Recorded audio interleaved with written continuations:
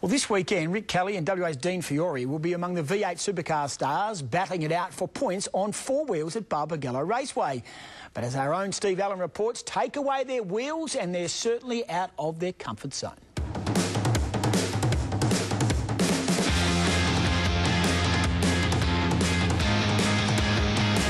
Racing for high speeds is nothing new for these track stars.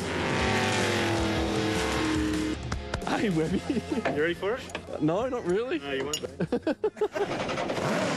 But reaching speeds of 130 kilometres per hour is a different proposition on the water.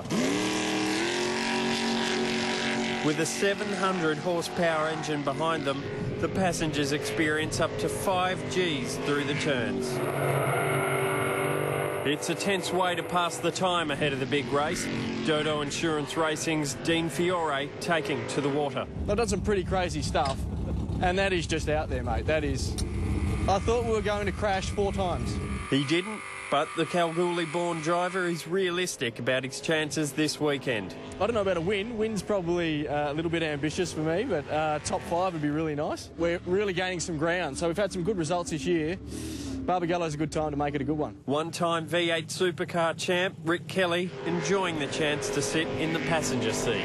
You know what? I, I love that. We, we've done a lot of boat racing, ski racing. It's completely different to that. That's a that's a great rush. And to be honest, I really enjoy having a passenger ride in something like this and letting a guy that knows what he's doing do the work and, and sit there and enjoy it. I, I really did enjoy it. And when the offer of a joyride presented itself, it was time to be brave. So in step Channel 10 cameraman Adam Delmage with a little nudge from yours truly. Steve Allen, 10 News.